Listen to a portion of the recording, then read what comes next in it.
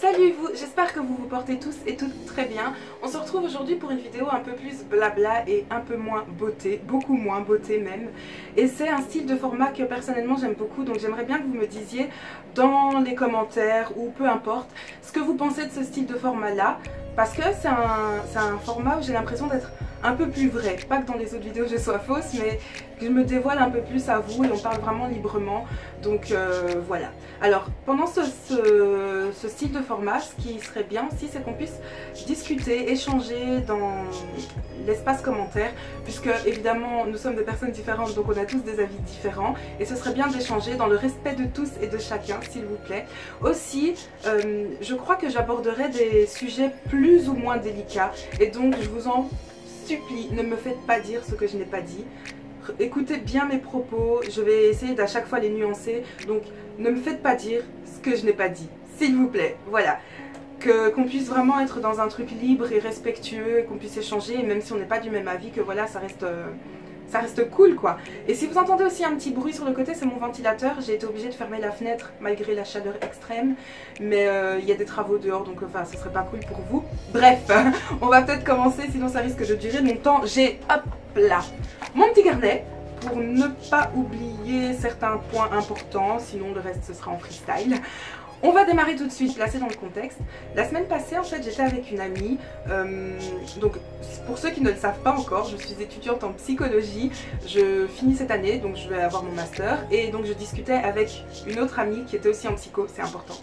Et on parlait des des personnes en fait qui vivent des ce que dans le jargon psy on appelle des traumas donc ce sont des événements qui en fait vous ont affecté généralement négativement euh, donc qui vous ont affecté et qui vous peuvent vous bloquer après dans l'avenir. Donc et on, en parlait et en fait euh, on parlait un petit peu des personnes qui suivant un trauma s'en sortaient ou justement ne s'en sortaient pas. Et euh, pour pouvoir commencer à en parler ici avec vous, je vais d'abord vous montrer une image. Je pense qu'on va commencer à parler à partir de cette image-là. Ce sera beaucoup plus simple. Sinon, on risque de partir très très très loin. C'est une vidéo qui pourrait durer vraiment très longtemps. Aussi, pardon, pardon d'avance si je parle beaucoup avec mes mains, parce que généralement quand, je parle dans ce genre de sujet qui est assez libre, j'ai tendance à m'exprimer, euh, voilà, à, être, à prendre mes aises quoi, à utiliser tout l'espace autour de moi. Donc je vais essayer de me contenir et, et rester habillée aussi. Voilà, donc je vous montre l'image, soit je la mets quelque part sur l'écran, soit, enfin bref, je vous la montre. Voilà, donc en fait c'est une image sur laquelle on voit deux petits garçons dans deux familles différentes, mais qui vivent la même situation d'un point de vue extérieur. Donc tous les deux se font battre par leur père. Et plus tard, on en voit un qui devient alcoolique, qui est sans dessus-dessous, euh, enfin on peut aller très loin, hein, qui, je sais pas moi, qui va faire vivre la même chose à ses enfants, qui va être, euh, qui va devenir un sociopathe, tueur en série, tout ce que vous voulez. Et de l'autre côté, on en a un qui a décidé de de prendre sa revanche sur ce que la vie, sur ce qu'il a subi en fait, et euh, d'en faire une force. Et voilà, on voit que malgré ça en fait, il a réussi dans la vie. Voilà, on peut interpréter ça vraiment de plein de façons différentes. Hein. Il y a deux images, moi, vous voyez tout ce que je vois derrière. Donc voilà, on démarre de là. Et en fait, donc je parlais avec cette amie et euh, ce qui m'était venu en tête, c'était que de nos jours, c'est vrai qu'on a tendance à voir beaucoup de gens qui se cachent entre guillemets derrière des choses qu'ils ont vécues dans la vie, derrière des choses qui ont été très très difficiles, je minimise en rien ce, qui, ce que ces personnes-là ont vécu, qui ont été très très difficiles, mais euh, qui sont bloquées par ces choses-là, qui sont bloquées, qui n'arrivent pas à avancer dans, leur vie future à cause de ces choses-là. Et je trouve ça tellement dommage euh, il y a plein de choses, c'est vrai qu'il y a beaucoup beaucoup de choses qui influencent sur la manière dont nous on va vivre ces choses-là. Une personne n'est pas une autre et euh, deux personnes qui vivent la même situation intérieurement ne le vivent pas forcément de la même façon. Ça dépend de l'environnement dans lequel on est, ça dépend de est-ce qu'on est entouré, ça dépend beaucoup de notre enfance. Est-ce que nos parents nous ont appris à avoir confiance en nous? Est-ce que nos parents nous ont appris à nous relever après un échec? Est-ce que nos parents nous ont appris à être forts tout simplement? Ça dépend aussi de nos croyances, ça dépend de, de notre caractère à nous, de notre tempérament, ça dépend vraiment de, de beaucoup de choses qui, qui, ont commencé dans notre enfance en fait.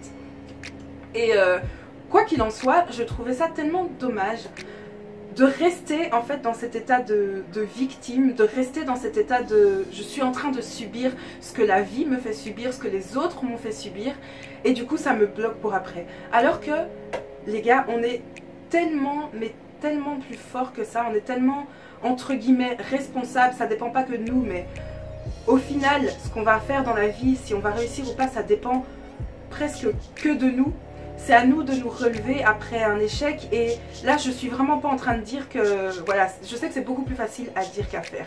Et euh, comme je vous le disais en tant que psy pas dans quelques semaines mais en tant que, psy c'est vrai que je suis je n'ai pas, pas vécu euh, la plupart des choses dont je vous parle, mais je suis quand même plus ou moins bien placée pour savoir ce que ces gens-là vivent, puisque voilà, on, a le métier qui reçoit, entre guillemets, la misère du monde. Les gens viennent se confier à nous, les gens nous parlent, les gens pleurent, les gens nous expliquent vraiment ce qu'ils ont ressenti durant ces moments-là. Mais ce qui est très beau dans ce métier aussi, c'est qu'on est aussi bien placé pour voir le cheminement de ces personnes-là et leur guérison. Donc, on sait très bien que c'est possible de se relever après des chutes, c'est possible de se relever après... Euh, après un trauma, comme on appelle ça, c'est possible de se relever après une enfance difficile, c'est possible de se relever après des parents qui ont été absents, c'est possible de se relever après vraiment tout ce que la vie nous a fait subir. Je suis vraiment persuadée, je ne sais pas si, ceux si vous qui m'écoutez, vous êtes croyants ou pas, mais peu importe, selon vos convictions, que ce soit la vie, que ce soit Dieu, que ce soit... Peu importe ce en quoi vous croyez, moi je suis vraiment persuadée que quand on vit quelque chose dans, dans la vie, on a aussi assez de force pour passer au-dessus. On ne vit rien qui soit au-dessus de nos forces. Si on vit une épreuve, on a suffisamment euh, le courage, la force, la persévérance, le caractère, le, soutien pour passer au-dessus, pour se relever et pour avancer. Oui, voilà, j'espère que je me répète pas trop et que vous avez compris ce que je veux dire. Mais encore une fois, comme je vous ai dit, je minimise absolument pas ce que ces personnes-là ont vécu. Euh, je prends l'exemple, par exemple, du viol qui, Enfin, c'est souvent l'exemple qu'on reprend, mais l'exemple du viol, c'est extrêmement difficile. Et Dieu merci, je n'ai pas vécu ça. Je sais que c'est vraiment... ça doit être horrible. Je peux même pas essayer d'imaginer ce que ces personnes-là ont vécu, tellement ça, touche à, plein de choses dans, dans une personne. Et mais, ce que je veux dire, c'est que regardez par exemple ces personnes-là qui ont vécu des traumas, qui se sont fait enlever, qui ont vécu des viols, qui ont été battues pendant leur enfance. Il y en a tellement aussi qui après, regardez, elles fondent des associations, elles militent, euh, ce sont ça devient des personnes responsables et qui ne s'arrêtent pas à ce qu'ils ont vécu. En fait, c'est vraiment dommage de laisser ce qu'on a vécu nous déterminer. Ne laissez pas vos expériences vous déterminer, mais c'est à vous d'utiliser ces expériences-là pour construire votre vie. C'est à vous de devenir plus fort avec ça et ne prenez pas ces choses-là que comme quelque chose qui vous a fait du mal. Bien sûr, ça vous a fait du mal. Bien sûr, des personnes vous ont fait du mal. Bien sûr, les expériences de la vie vous ont fait du mal. Mais pardonnez, ça c'est quelque chose qui est aussi super important, c'est que dans la vie, vous ne pourrez pas avancer si vous ne pardonnez pas. Parce que vous gardez des personnes enfermées dans votre cœur, mais ça ce sera le sujet du pardon, j'en parlerai aussi dans une autre vidéo. Mais lâchez ces personnes-là, relâchez ces personnes-là, parce qu'en fait, en les gardant, en gardant cette rancœur, cette rancune, cette colère en vous, vous les enfermez vous les enfermez en vous, alors que eux, de leur côté, la plupart du temps, ils en ont rien à faire et ils continuent leur vie, ils vous ont oublié et, voilà. Donc relâchez ces personnes-là pour avancer, pour être libérés. Mais euh, je sais plus, je me suis égarée, je sais plus ce que je voulais dire. Ah oui, c'était pour dire que du coup, les personnes euh, qui ont vécu ça, ils en font une force. Faites-en une leçon. Faites en sorte que ce ne soit pas quelque chose qui, qui vous arrête, mais justement qui vous rajoute de la force, qui vous rajoute... Euh, quelque chose pour avancer encore plus, un bagage de plus dans la vie. Et, euh, qui sait même quand vous rencontrerez des personnes autour de vous qui vivront la même chose, vous pourrez leur dire moi aussi je suis passée par là, mais regarde j'en suis sortie, toi aussi tu peux le faire. Parce que je suis persuadée que dans la vie ça ne tient qu'à nous. Donc la vie nous donne des choses, Dieu nous envoie des choses, on a des choses qui se passent autour de nous, on a des interactions, des choses avec les personnes. C'est à nous de prendre tout ça et suivant notre expérience, suivant nos expériences de, vie, c'est à nous de prendre ça et d'en faire quelque chose de positif. En fait, on doit garder que du positif. On, aura des choses négatives dans la vie, mais c'est à nous de transformer ça en quelque chose de positif. Et je vous assure que c'est possible. Et euh, il y a aussi quelque chose d'autre que je voulais, euh, dont je voulais vous parler, c'est que on a souvent l'impression que l'herbe elle est plus verte ailleurs. On a souvent l'impression que le voisin, sa vie elle est parfaite et que on, a envie de l'envier en fait et de se dire ouais mais toi tu peux pas comprendre parce que euh, ta vie elle a l'air super, ta vie elle est géniale, euh, tu sais pas ce que, je, ce que je vis moi etc. Déjà on ne sera jamais à la place des autres, ça c'est une chose. De, comme je vous ai dit au début, deux faits qui sont les mêmes peuvent être vécus tellement différemment par deux personnes que faut pas essayer de vous penser à la place de quelqu'un d'autre. Vous n'êtes pas à la place des autres. Deuxième chose, arrêtez de penser que l'herbe elle est plus verte ailleurs parce que la plupart du temps, les gens montrent ce qu'ils veulent bien vous montrer. Parfois, il y a des choses qui transparaissent, c'est sûr, mais on est une image. Vous ne voyez pas ce qui se passe à l'intérieur de nous. Et donc, que ce soit au travers d'une caméra, que ce soit dans la rue, que ce soit avec vos amis même, on vous montre la plupart du temps ce qu'on veut bien vous montrer. Et forcément, on ne va pas laisser passer que le négatif autour de nous. Et parfois, il y a des gens même qui ne parlent pas du tout du positif dans leur vie et vous avez l'impression que leur vie, elle est bien, alors qu'en fait, mon Dieu, vous savez pas ce que les gens vivent, vraiment. Donc essayez d'arrêter de, vous comparer aux, personnes d'à côté parce que faut faire très très attention à ce qu'on souhaite. Si un, admettons qu'on soit dans un monde où on pouvait échanger la place, croyez-moi, vous risquerez de vite regretter d'avoir voulu être à la place de telle ou telle personne parce que, parce que personne n'a une vie parfaite. Il y a beaucoup de gens qui ne naissent pas avec une cuillère en argent dans la bouche, mais, mais même ces personnes-là, peu importe ton statut, peu importe... Euh, ton, ton appartenance euh, sociale, euh, peu importe euh, la manière dont tu vis, peu importe ta famille, etc. On passe tous, tous, tous par des épreuves plus ou moins graves, à plus ou moins grande ampleur, mais on passe tous par des épreuves difficiles pour nous. Et, croyez-moi, se mettre à la place de quelqu'un d'autre, ça sert à rien. Il y a aussi autre chose qu'il faut vous dire, c'est que vous qui, qui rêvez d'être à la place de quelqu'un d'autre, sachez bien que il y a quelqu'un d'autre qui a envie d'être à votre place. Il y a quelqu'un d'autre qui pense que vous, vous avez la vie parfaite que lui aimerait bien avoir. Et quand on, réfléchit comme ça, on relativise tout de suite beaucoup de choses et on pense tout de suite différemment. On a tendance à se dire que les choses bien n'arrivent qu'aux autres. Mais sachez que pour quelqu'un, l'autre, c'est vous pour quelqu'un, les choses de bien qui n'arrivent qu'aux autres, c'est vous, ces personnes-là, à qui les choses de bien arrivent, et eux qui n'arrivent pas à avancer dans leur vie parce qu'elles sont arrêtées, elles sont bloquées. C'est pour ça que j'ai voulu donner ce titre-là, euh, de... Je sais pas exactement comment je vais le formuler, mais je veux faire passer le message de faire quelque chose de bien, en fait, avec quelque chose de négatif. Ne pas s'arrêter simplement à ce qu'on a reçu, point. Il y a on pourrait dire peut-être cinq choses qui sont super importantes, mais je dirais trois choses quand on veut aller loin dans la vie, quand on veut avancer, quand on veut euh, réaliser ses rêves, c'est que déjà, il faut, il faut, avoir l'idée, il faut le dire, il faut le proclamer, faut, faut, il faut avoir cette idée-là de base. Ensuite, il faut avoir la confiance et il faut croire en vous. C'est pour ça que, je, comme je disais tout à l'heure, les parents, l'environnement dans lequel on a grandi est très important parce que c'est beaucoup de cet environnement-là, beaucoup de l'éducation qu'on a reçue qui va nous aider à avoir confiance en nous ou pas.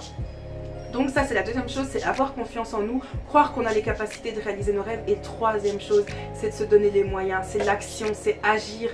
On n'aura rien si on reste assis. Et il y a des choses qui sont tellement difficiles. Parfois vous avez l'impression que c'est exactement la même chose qu'aller chercher la lune dans le ciel.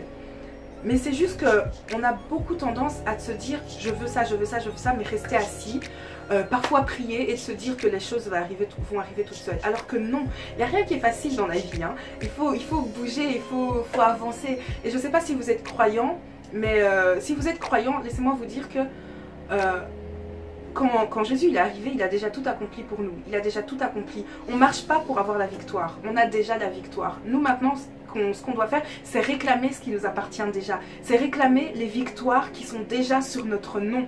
Réclamer ce qu'on a déjà. On n'a pas à inventer des nouvelles choses. Ce qu'on vit, nous, ici, Jésus, il a déjà tout vécu. Il ne faut pas croire qu'on est les seuls à souffrir, tu vois. Et ça aussi, c'est quelque chose que je voulais vous dire, c'est que que vous, vous vivez, que vous avez l'impression qui, est très difficile, il y a quelqu'un d'autre qui le vit aussi. Qui le prendra pas de la même façon, mais qui le vit aussi. Pensez pas que vous êtes seul dans ces histoires, enfin dans, ces épreuves-là. Dans ces histoires-là, Manu, qu'est-ce que tu racontes? Dans ces épreuves-là. Donc voilà, euh, si vous voulez quelque chose, faut l'arracher les gars. Faut, parfois faut être violent dans la vie, il faut se donner les moyens. Donc peu importe la façon dont vous allez... Euh, arriver à atteindre vos objectifs à partir du moment où c'est dans le respect de tous et de chacun, à partir du moment où vous vous respectez, où vous respectez les autres, Personne n'a le droit de vous juger. Personne n'a le droit de vous juger. Si vous vous sentez pas bien comme vous êtes, si vous vous sentez pas bien dans la position que vous êtes, que ce soit physiquement, que ce soit matériellement, que ce soit euh, spirituellement, mentalement, peu importe, donnez-vous les moyens d'avancer, donnez-vous les moyens d'avoir ce que vous voulez, d'avoir ce dont vous rêvez, à partir du moment où vous restez respectable et juste et honnête.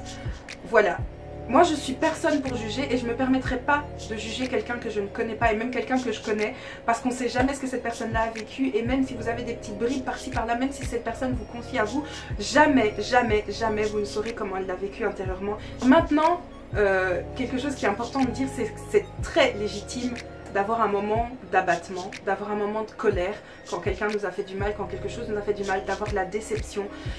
Toutes ces émotions-là sont légitimes, mais ce qui, est important, et là où ça devient problématique, c'est quand ça dure. Ça ne doit pas durer. Être en colère contre quelqu'un, rester dans cet état de victime, ça ne doit pas durer. Après, selon les épreuves, il y a des choses qui prennent beaucoup plus de temps que d'autres. C'est sûr que sortir d'un deuil quand on a perdu quelqu'un ou euh, être déçu parce que, euh, je sais pas moi, euh, parce qu'il y a une promotion qu'on n'a pas eue, ce sont deux choses complètement différentes. Après, comme j'ai dit, on vit les choses différemment chacun, mais il y a quand même des épreuves dans la vie qui demandent plus ou moins, de temps d'adaptation. Mais ce qui est important, c'est de ne pas rester trop longtemps dans cet état-là. C'est de ne pas, comme je l'ai dit, hein, c'est toujours la même chose, c'est ne pas rester à terre, ne pas rester en bas, ne pas se dire que voilà, c'est foutu parce que j'ai vécu ça dans la vie. Non, tu prends ça, tu le transformes en quelque chose de positif, t'en fais une force, t'en fais une leçon, t'avances et tu montres aux autres que c'est pas ça qui t'arrête. Tu montres à la vie que c'est pas ça qui t'arrête.